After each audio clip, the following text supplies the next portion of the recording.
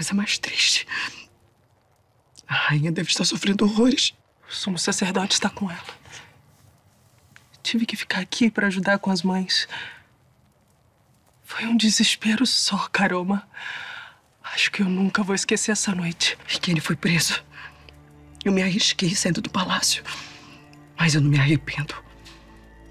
Nem um instante, Radina. Eu imagino pesadelo que essas mães estão vivendo. Eu preciso ir lá. A senhora Nefertari.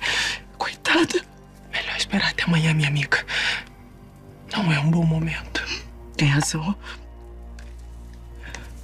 Pepe ficou tão confuso com essa história toda. Tadinho. Está arrasado com os amigos que perdeu. Pelo menos ele foi salvo. Obrigada por ter cobertado minha saída, Radina. Imagina. Como eu não ia ajudar?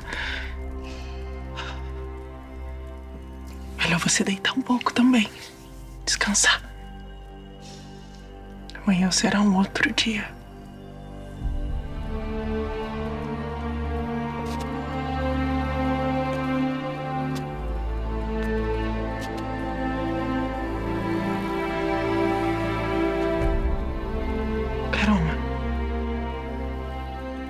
Depois de tudo que aconteceu,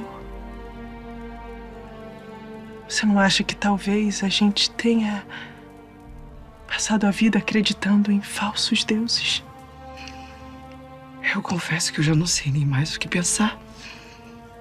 Só sei que, graças ao Deus dos Hebreus, o meu filho está vivo.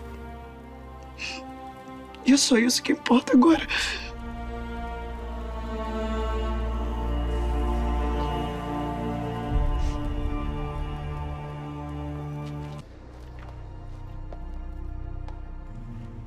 Com licença, senhora. Carol, eu nem sei o que dizer. Eu sinto muito pelo príncipe. Arrancaram meu filho dos meus braços. Tiraram ele de mim. Eu não pude fazer nada. Providencie para que todos os corpos sejam recolhidos e embalsamados. Com as devidas honrarias, conforme cada caso. Já foi providenciado, senhor.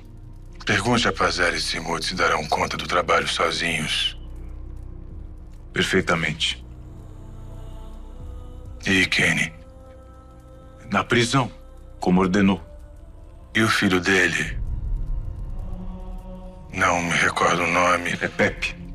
Sim, Pepe.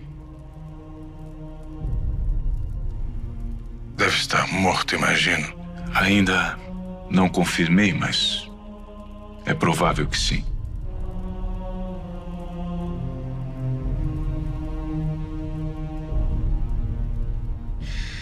O que você está fazendo aqui?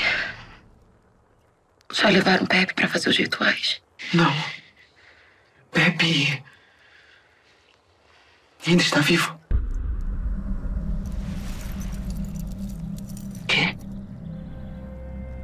Vivo? Eu o levei para a Vila dos Hebreus, senhora. Você fez o quê?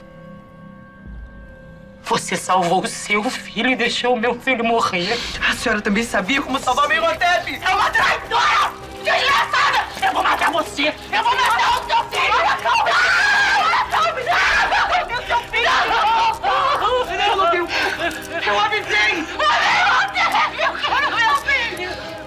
Eu avisei, Radina! Eu avisei! Sai daqui! Agora! Melhor você sair, caramba!